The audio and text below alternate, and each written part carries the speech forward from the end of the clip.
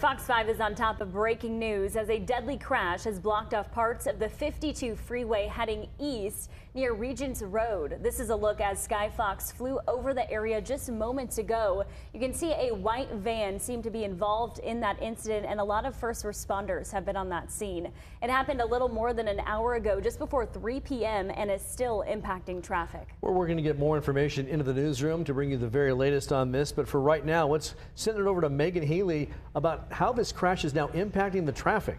Yeah, a lot of eastbound traffic uh, on the 52, Phil and Zara. I want to show you where on our traffic map this is happening. Again, it's right at that Regents Road exit there on the 52 eastbound in North Clairemont. You're seeing a lot of southbound traffic on the 5, but there are going to be closures that impact travelers on the I-5 trying to get to the 52. So the closures right now on ramp from La Jolla Parkway. Uh, if you're driving southbound on the 5, that's closed if you want to get onto the eastbound 52. And if you're driving northbound on the 5, that on ramp to the eastbound uh, 52 also closed right now. So there are hard closures in place, as well as the north and southbound direction of Regents Road right here. That's also going to be blocked off by crews as they start to respond and get the more information on this fatal collision. So there's going to be a lot of detours and a lot of traffic in the North Clairemont area. So please drive safe and move over for any emergency responders.